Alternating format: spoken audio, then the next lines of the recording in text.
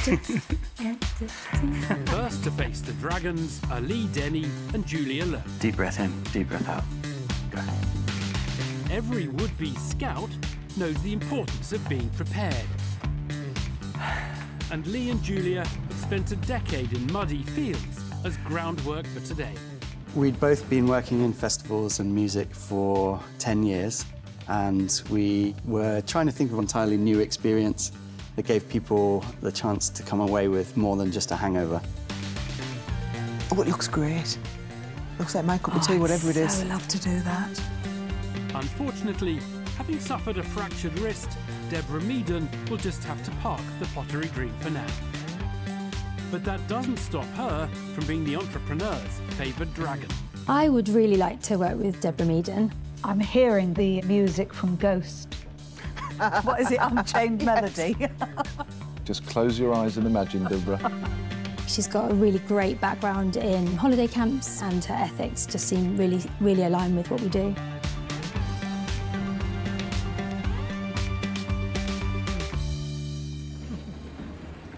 Hi, I'm Julia Lowe, And I'm Lee Denny. and we are the founders of Camp Wildfire, the UK's first summer camp for adults. We are offering a 5% stake in our business in return for a £75,000 investment. At Camp Wildfire, you adventure by day and you party by night. Your ticket includes a choice of over 100 activities and 50 bands and DJs. You'll spend your days driving quad bikes, firing arrows, climbing trees, and building rafts. And as night falls, you'll feast on banquets, party in the forest, and cozy up around campfires. This year, we have two sold out events and are about to launch a third. We will turn over 1.8 million and anticipate net profits of 315,000. So we'd just like to say thank you to Matt, who's just showing you one of the examples of the kind of activities you can do at Camp Wildfire. We'd also like to thank Danny. We have a cocktail making workshop at the event. He's going to bring you a cocktail now. Summer Camps for Adults is the brainchild of Lee Denny and Julia Lowe. Everybody at Camp Wildfire gets given an enamel mug on the way in. Thank you very much. Uh, this is so we don't have to use any disposable plastics. They're seeking a £75,000 investment in return for 5% of their company. And it appears Sara Davies is quite taken with the idea of daytime adventures and nighttime partying. Hey guys, this sounds brilliant. I was actually going to ask you about your target market and the demographic that you're hitting. So most people coming tend to be aged 30 to 45. It tends to be people that have been to a couple of festivals before. Now they want something a little bit more engaging. They want to go away having learnt some new skills and feeling really good about themselves. So, what does it cost me for an individual ticket for the weekend? We have three different ticket prices. We have an elementary ticket, which is £245. pounds mm-hmm. That comes with 60 activity credits and all the kind of bands and DJs.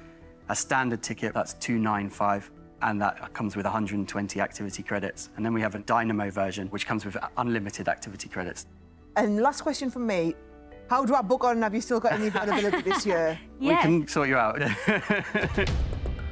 An activity packed weekend under canvas could be just the ticket for Sara Davies. Deborah Meaden now wants to arm herself with the Dapper Duo's financials.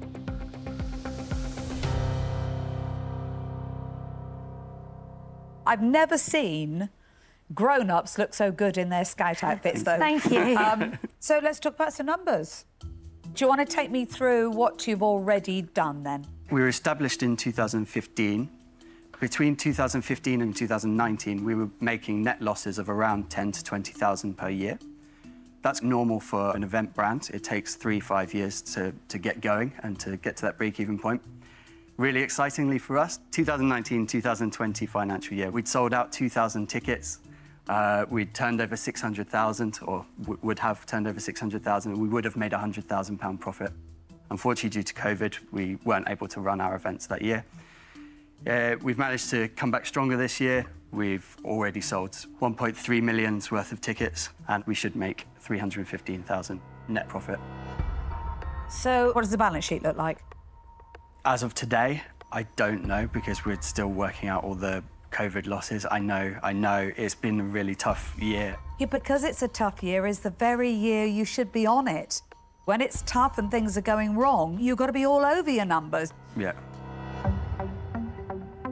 Some in depth dragon delving reveals that the event planning pair have a shaky grasp of their current festival's finances.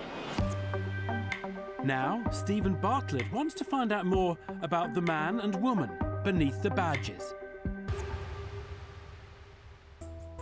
What are your backgrounds? So my background is in graphic design. That's actually how Lee and I met. So Lee was running festivals for many years and I was his graphic designer.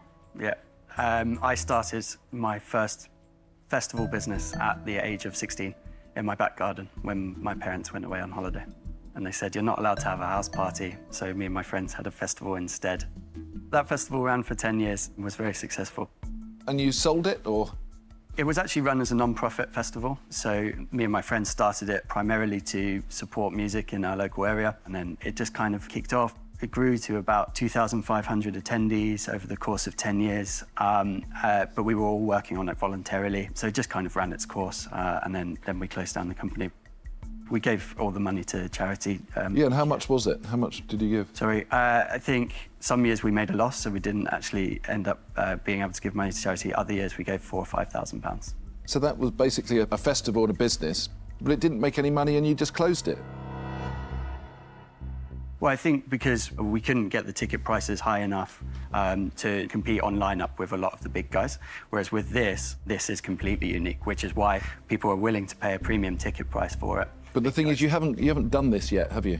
We Yes, have. we've We've run it it for for- five years. yeah. In 2015 was our first event. So you got five years to 19, and specifically on that year, how much net profit? Net loss 10,000. Okay, then you have the pandemic, your hands are tied, Yep. And now this year, yes, you've taken people's money, Yep. but you still haven't run a festival, still haven't made money. So right up until now, you haven't demonstrated that you can run a festival and make money. Um, Is that fair statement? I guess yeah, that's a fair statement. I'm giving you a hard time because you've come in at a 1.5 million pound valuation just because you've sold tickets to an event you haven't done yet. We have done it.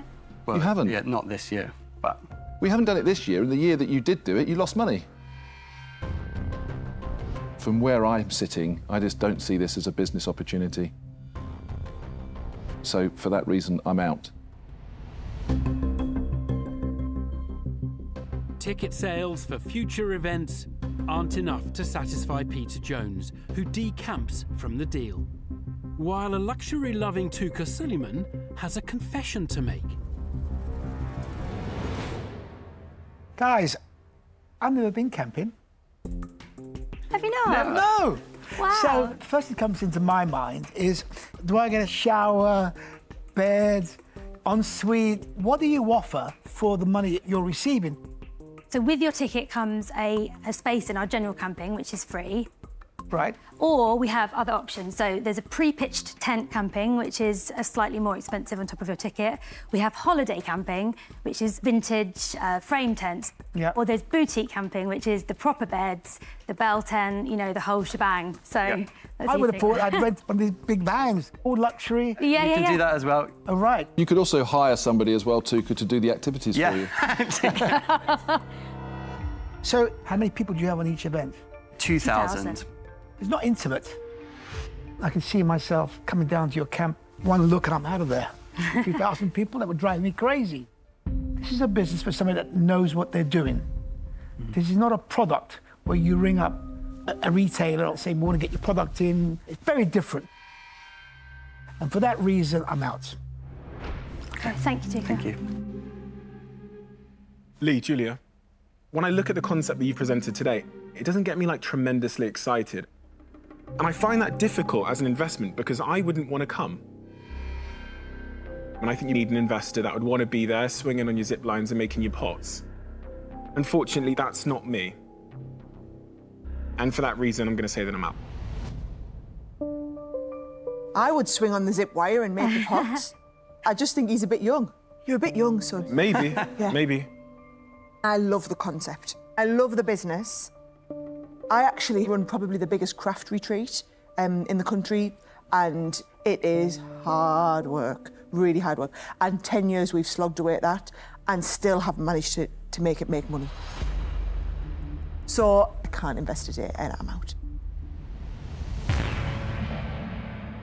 Sara Davies knows all too well that the event business can be resource heavy but profit light and becomes the fourth dragon out.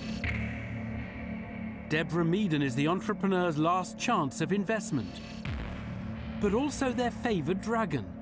Has she heard anything to elicit an offer?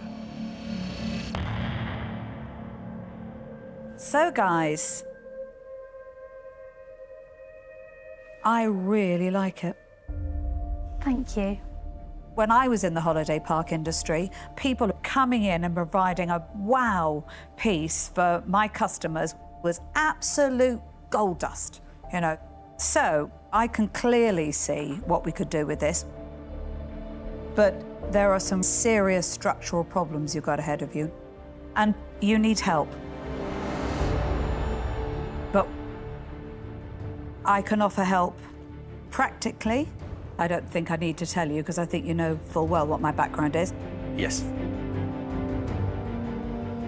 So I'm going to make you an offer. I'm going to offer you all of the money, Yep. and I want 25% of the business, which I think is a much more realistic valuation. Thank you.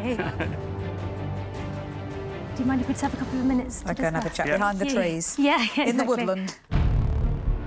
Deborah Meaden thinks the festival idea has a real USP and tables a bid.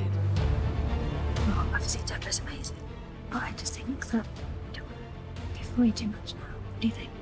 But in return for the £75,000 the duo are seeking, she wants five times more than the 5% of equity that they're willing to give away. What do you think is a decent number to go for? And it appears the pair have a new proposition to put to her. So, um, thank you very much for your offer. Um, we would like to ask if it would be possible to do 20%. And if we hit our numbers, which we believe we can, in the next season that we run, 315,000, would you be willing to roll back to the 5% that we pitched? 5%? No. That kind of misses the point because if I'm having an impact on this business, then I'll be part of the you achieving your 315,000. I mean, it, it- it's, illo- it's completely illogical. So, no is the answer. Okay. Would you be willing to uh, do 20% for 75,000? Do you know, in your last counter offer, I've got to tell you, I nearly fell off my chair. And that really worried me. Okay. I'm getting insights into how you are going to be when you go out there and you do business. And you know what? I'm afraid I withdraw my offer. I'm out. Okay. Okay, thank you. All right. Thank you for your time.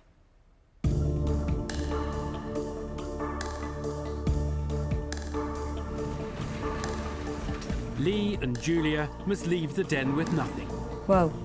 as a disgruntled Deborah Meaden takes the highly unusual step of curtailing the negotiations. I'm shocked you did that, but I'm not surprised at all. It was completely wrong thinking. Mm. We had discussed in advance that the maximum we wanted to give away was 10%. So to have an offer like 25% just felt like too high an offer to me. Yeah. It is a good product. Obviously, you, you hope to go in and get five offers, but I mean, it's a negotiation. Sometimes negotiations don't work out.